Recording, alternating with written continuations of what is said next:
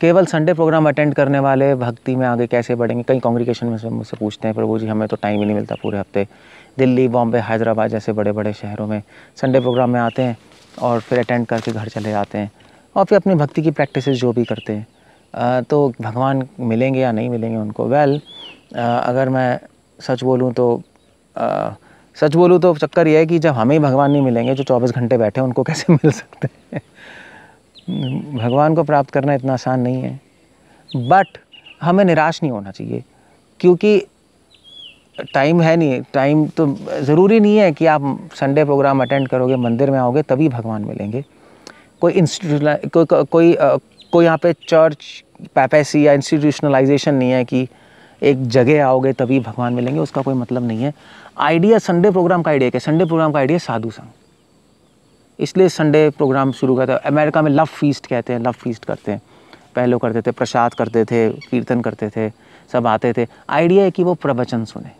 इसलिए आप कभी भी, आप हमारे सेंटर कौन सेंटर जाएँगे तो वहाँ पे प्रवचन ज़रूर होता है। वो मेन है प्रोग्राम का पार्ट इनफैक्ट जो डी टी वर्शिप है, जो पंचरात्र विधि है, जो अर्च विग्रह पूजा है, उसमें अर्च विग्रह पूजा में वैसे तो आप जाएँगे मंदिर में तो आरती करते हैं अगरबत्ती करते हैं चामर करते हैं, सोलह आइटम्स करते हैं, मगर वैसे चौंसठ आइटम्स हैं। उस चौंसठ आइटम्स में से एक सबसे इम्पोर्टेंट आइटम है भागवत क्लास भागवत कक्षा, श्रवणम। श्रवण के बिना ना भागवत विधि पूरी होती है, ना ना पंचरात्र विधि पूरी होती है। मंदिर, जहाँ पे श्रवणम नहीं हो रहा, जिस मंदिर में, उस मंदिर को तो भागवतम कौओं का अड्डा कहता है। सो संडे प्रोग्राम में श्रवणम होता है। मगर अब आज मॉडर्न ज़माने में टेक्नोलॉजी से हम रोज़ संडे प्रोग्राम कर सकते हैं। यूट्यूब पे आप लेक्चर सुन सकते हो। जूम पे हम लोग आ, मिल सकते हैं। जूम क्लासेस होती हैं वहाँ पे हम संग ले सकते हैं और सीख सकते हैं हम चीज़ें। आइडिया ये है आइडिया प्रोग्राम अटेंड करना प्रोग्राम अटेंड ना करना ये नहीं है। आइडिया है वैष्णव संघ साधु संघ। अगर आप प्रोग्राम में भी संडे प्रोग्राम में भी आकर हल्ला गुल्ला पार्टी बनाकर पिज़्ज़ा वीज़ा खा के और डांस वांस करके चले जाओ तो भी उसका कोई फ़ायदा नहीं है।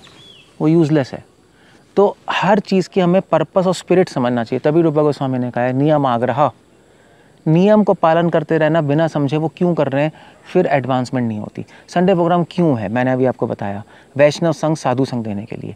अगर साधु संघ बिना संडे प्रोग्राम के मिल रहा है, अगर रोज़ ही मिल रहा है संडे हो या मंडे रोज़ खाए अंडे सुना होगा अपने अगर रोज़ ही साधु संघ मिल रहा है तो संडे प्रोग्राम क्या करेगा?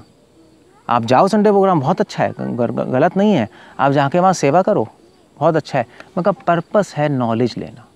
सो so, इसलिए अगर आप संडे प्रोग्राम केवल जा रहे हैं बाकी टाइम नहीं है जाने का कोई प्रॉब्लम नहीं है आप घर में बैठ के रोज़ श्रवणम कीजिए। उसको मत आप उस पर लूज़ मत छोड़िए अपने आप को। लोग क्या करते हैं संडे प्रोग्राम आते हैं वहाँ पे लेक्चर सेवा करते हैं लेक्चर भी नहीं सुनते।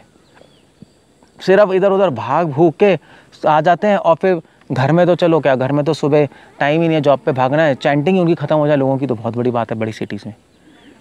सो so, वेल well, आप जाइए सुनिए पूरे हफ़्ते जूम क्लासेज अटेंड कीजिए जो आपको भक्त अच्छे लगते हैं जो सीरियस डिवोटीज़ हैं उनसे डिस्कशंस कीजिए रोज़ आधा घंटा या यूट्यूब पे लेक्चर सुनिए लेक्चर सुन के उनके नोट्स बनाइए नॉलेज एसिमुलेट कीजिए ज्ञान लीजिए। ज्ञान लेंगे तो वो विज्ञान में बदलेगा। विज्ञान में बदलेगा तो आपके विचार बदलेंगे। विचार बदलेंगे तो आपका आचरण बदलेगा। आचरण बदलेगा तो आपकी पर्सनैलिटी बदलेगी आपका स्वभाव बदलेगा। स्वभाव बदलना ही आध्यात्मिकता है। स्वभाव अध्यात्मा उच्चते भगवान खुद गीता में कह रहे हैं। फिर आप कृष्णा कॉन्शियस आप भक्त बन सकते हैं। सो so, या yeah, इस क्वेश्चन का आंसर है कि प्रभु जी हम संडे प्रोग्राम अटेंड करते हैं पूरे हफ़्ते नहीं कर पाते सिटी में रहते हैं टाइम नहीं मिलता जॉब है दूर रहते हैं क्या करें? कोई प्रॉब्लम नहीं है। आप सब लोग प्रभुपात की बुक्स पढ़िए लेक्चर सुनिए यूट्यूब की कृपा से आ, बहुत फ़ायदा है। अब तो पहले ज़माने में गुरु की कृपा कहते थे तो यूट्यूब और जूम की कृपा है। तो उनकी कृपा से आप लोग भक्तों से बात कर सकते हैं संग कर सकते हैं। किसी तरह हमेशा सततम क्या है वो? कथयंत क्षमाम नित्यम तुष्यंती चा रमंती च। बोधयंत परस्पर मत चित मत कथा प्राणा। ये करना है। साथ में रहकर डिस्कशंस कीजिए चाहे ऑनलाइन कीजिए सोशल प्लेटफॉर्म पे कीजिए ऑफलाइन मंदिर में आके मिलिए, कोई प्रॉब्लम नहीं है। नॉलेज लीजिए और अपना अनुभव बढ़ाइए और कृष्णा कॉन्शियस बनिए तो भगवान की प्राप्ति ज़रूर इस जन्म में हो जाएगी।